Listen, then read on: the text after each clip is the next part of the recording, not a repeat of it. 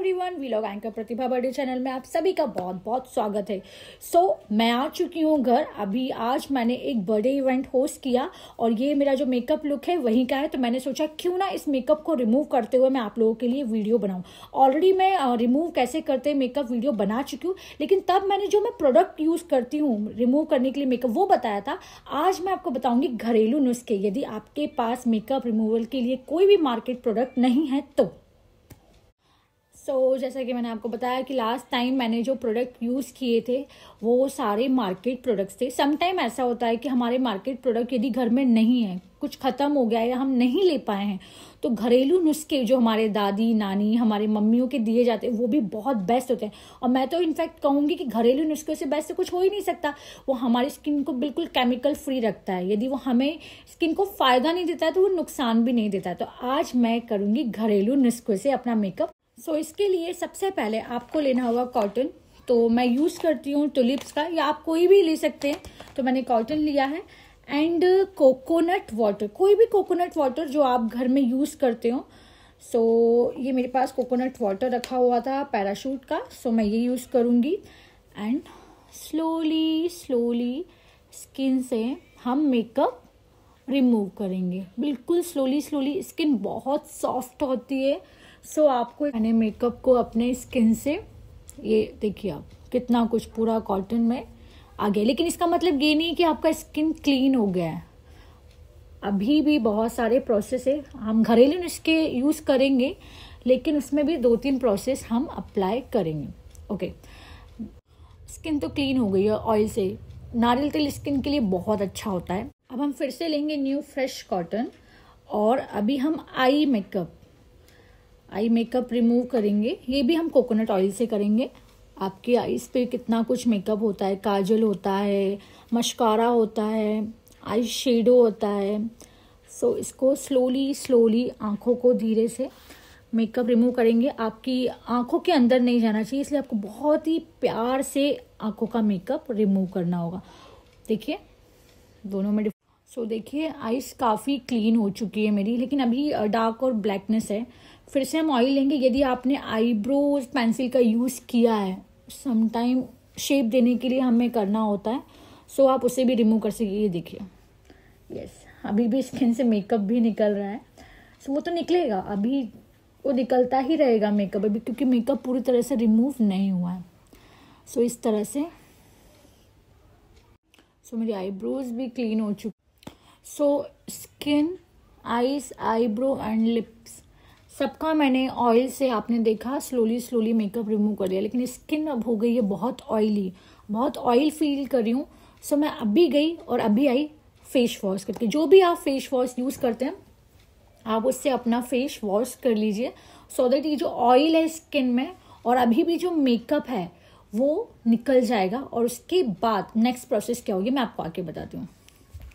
सो so, आज मैं use कर रही हूँ नीम फेस वॉश इससे पहले मैंने आपको बताया था रेनू ग्लो। मैं वो भी यूज़ करती हूँ। नीम फेस वॉश है तो मैं भी फेस वॉश करके आती हूँ। सो so, इससे करेंगे हम हल्की हल्की मसाज। मैं कोई भी फेस वॉश यूज़ करती हूँ ना तो उससे से हल्की हल्की मसाज करती हूँ। अच्छे से इससे मसाज करती हूँ स्किन की। और फिर उसे एक दो मिनट तक मसाज होने के बाद वॉश करती हूँ। सो so, चलिए चेक कर लेते हैं स्किन में अभी मेकअप और कितना बाकी है। तो इसके लिए लेंगे हम कच्चा दूध। यस yes, दूध पका हुआ नहीं होना चाहिए। आई I मीन mean, गर्म नहीं होना चाहिए। कच्चा दूध एक कॉटन बॉल में लेके और इस तरह से इसको स्किन पर धीरे धीरे हम मेकअप रिमूव करने की कोशिश करेंगे। देखिए अभी भी हल्का हल्का लाइट मेकअप निकल रहा है। इट मीन्स मेकअप रिमूव नहीं हुआ है। इस तरह से हम स्लोली स्लोली कच्चा दूध अपनी स्किन पर अप्लाई देखिए, अभी भी कितना मेकअप निकला है। मैं पहले ये गलती कर देती थी। मुझे लगता था कि स्किन क्लीन हो गई है। इट मीन्स मेकअप हो गया है रिमूव बट ऐसा कुछ भी नहीं है। अब आप करेंगे हल्के हाथों से, कच्चे दूध से ही स्किन की मसाज यस अच्छे से स्किन की मसाज कीजिए कच्चे दूध से और इसे लगा के मसाज जब हो जाए, अच्छे से बिल्कुल मसाज करते रहिए थोड़े से पाँच मिनट तक एटलीस्ट कच्चे दूध से स्किन की मसाज होने के बाद आपको इसको पाँच से दस मिनट के लिए ड्राई होने के लिए छोड़ देना है। क्योंकि हल्का सा चिपचिपापन है जो मिल्क होता है वो ऑयली होता है। So five to ten minutes जब स्किन आपको लगे कि अब ड्राई हो चुकी है सूख चुकी है तो फिर इसको धीरे धीरे इस तरह से रब करते हुए दूध को हटाने की कोशिश करें और फिर नॉर्मल वाटर से फेस अपना वॉश कर लीजिए। सो so, जो मैंने दूध अपनी स्किन पे अप्लाई किया था उसके बाद मैंने अपना फेस वॉश कर लिया है। अब देखें। अब पक्का स्किन में कोई मेकअप नहीं आप चाहे तो कॉटन से दूध से किसी भी चीज़ से या ऑयल से निकाल के देखेंगे चेक करेंगे आपका कॉटन बिल्कुल क्लीन होगा।